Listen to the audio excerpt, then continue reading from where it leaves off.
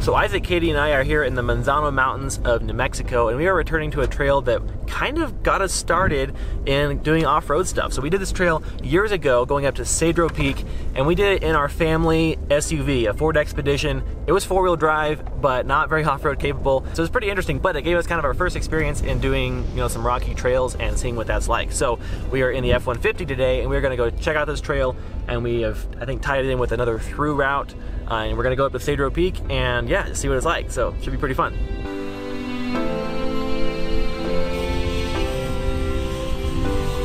All right, so I'm excited about this trail. It's uh, listed as a level four trail, which I think I've been on one level four trail before, but most of the trails I've done were threes according to the standard rating. The section that's level four is real short, but I'm excited. Hopefully it'll be a little bit of a challenge. We need to get a little more technical and try to challenge myself a little bit. So I am really excited for this. Certainly I've never been on this kind of trail before, so really, really, really, really excited to get to do this up in the mountains and see more of a state that I've honestly always wanted to explore. So let's do it.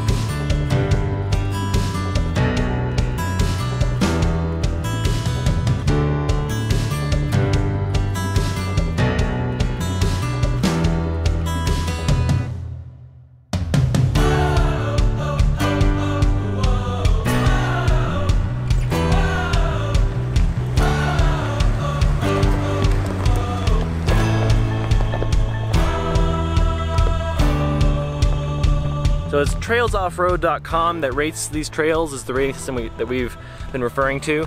And um, they seem to have pretty good informational and accurate reviews about even some not so well-known trails like this one.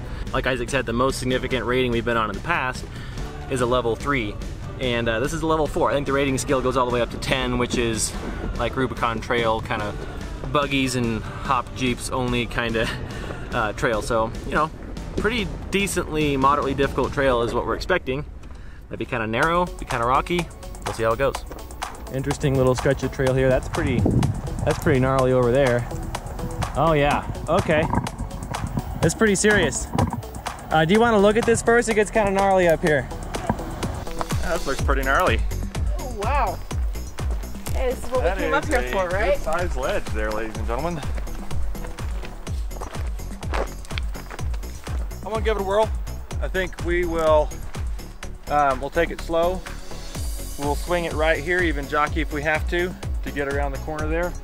And we'll come up, we'll put our right tire right here and try to ride this up right here. You can see other people have done the same thing.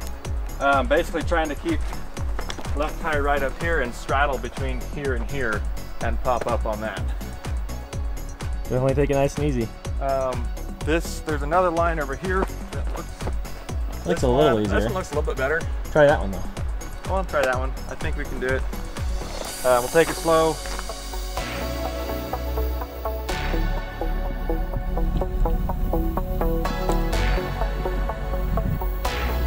Nice and easy. Nice and easy there. You're fine. You're fine. Oh yeah. Let's not do anything, Yeah. anything crazy.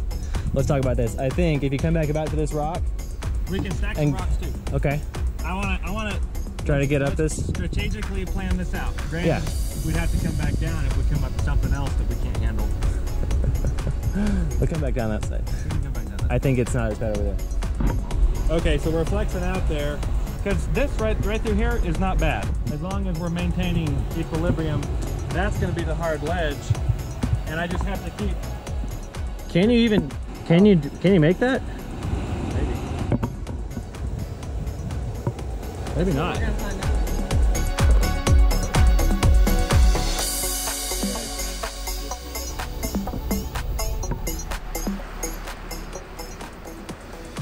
All right, so that worked. Where are we hitting here? You can, I don't know. You can put the wheel here, but I don't think you're gonna clear that. I think we might make this, but what I'm worried about is I can't put that tire through here. No. Has to be up here, right through here. Ease up to it and we'll see if we, if there's any chance. I don't like piling rocks in front of the ledge.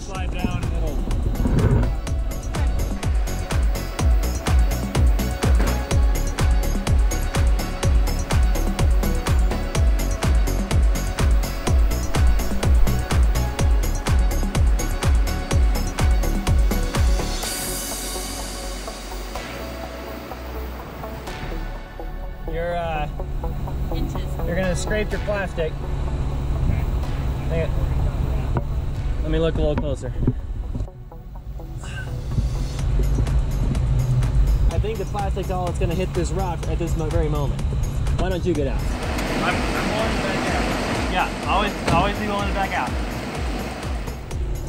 I was just looking. It's, it's gonna come up and It's about to come up. Actually, you might not scrape it. My, my main worry is that not so much the clearance the one time, but if it slips and decides to do something weird. Okay. I, I think that's the line right there, honestly. So I'm gonna try kind of little passenger. Anybody think I'm doing dumb? Never. No. I think I think we're I good like right now. I it think to the we're- utmost. Let's think about what happens when we get when the back tires get here. Let's Is that just even pay a thing? attention. Let's go really slow and be really fast on stop. Yeah. But I think I think we're doing okay right now. All right. You're gonna hit in the rock here.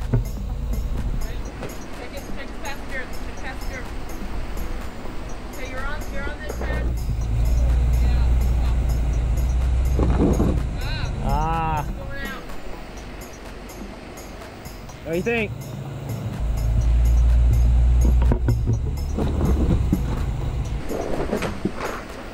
You're on the rock over here. What if we put a traction board here? Unless you're done. I I don't want to call it quits, but I, I also want to get this vehicle home safe. Right. We got more stuff to do with it. We got more trail to enjoy.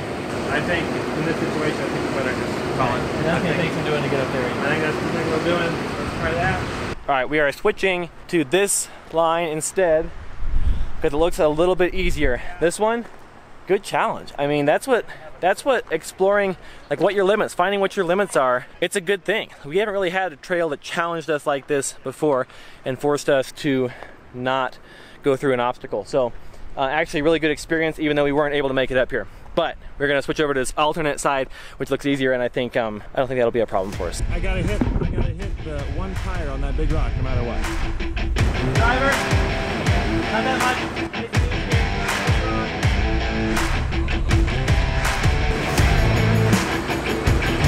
All right, now straighten up as you hit this rock. All right, uh, just like that.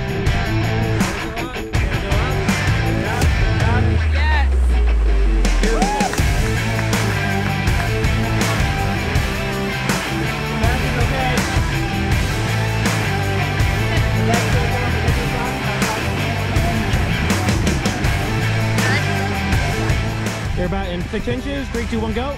On the rock. And on the second rock.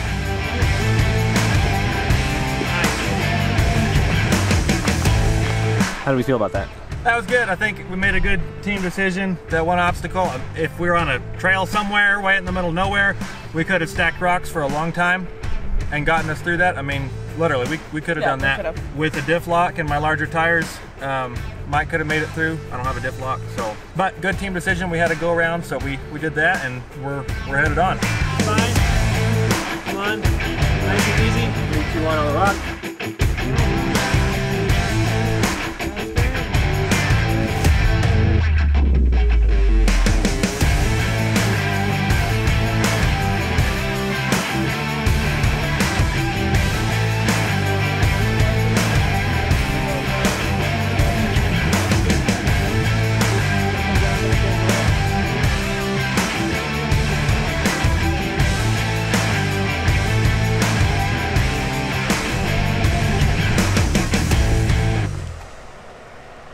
Trail is putting our teamwork to the test in a good way. It's kind of stretching us on all counts in terms of having to be good, accurate spotters and also precise and skilled drivers as well. Only one driver, but it's a good trail.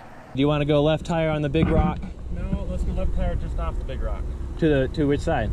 Left tire just to the right of the big rock. Which one? Hop out. You're not seeing the big rock I'm seeing. Oh.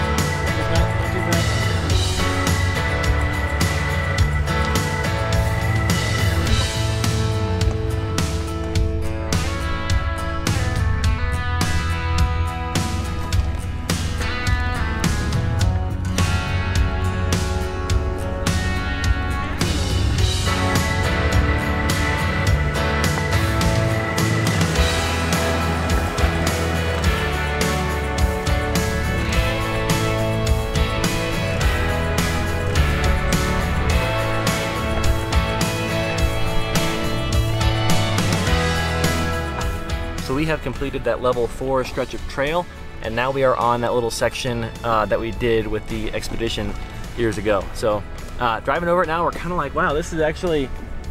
Uh, we did this with a street SUV, like kind of impre- impressed actually, because it isn't super easy.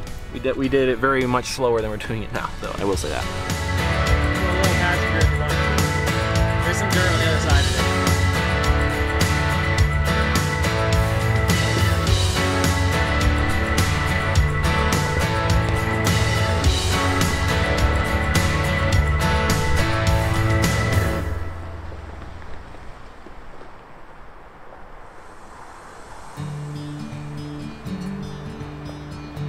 That was a really cool trail. It really stretched me, it stretched the vehicle. Um, I really have a, a, really good sense of accomplishment after doing that um, because not only was it challenging for the vehicle, we came up, up across an obstacle that we couldn't conquer without a lot of road building. But honestly, I feel I feel good about it because it, we made a team decision, we worked together, and it was the best decision to go around it and do something different. So uh, in the past, I would have struggled a lot with that. You know, I feel like trail defeated me, and um, I, I just feel like we made a good decision, and it'll be there next time. We'll build the vehicle a little more and come back another time. I think learning to communicate with one another in kind of a new language for some of us, for me in particular, and knowing even what tone inflection does for the driver. The different ways you can even just say like, hey, there's a rock, or scare him by saying rock, you know, and, and really even impacting his movements as the driver. It was a very relationship building moment. You know, when you're in a situation that has some consequences, whatever level of direness they may be, it's a really good exercise to see how you'll respond in those situations, how well your teamwork will hold up. And I think the three of us really came away having done that pretty well and doing a pretty good job of effectively building those relationships in that kind of pressure situation. So, very good experience here on the Cedro Peak Trail. Man, super fun too. Thank you guys for watching. We'll catch you guys on the next one.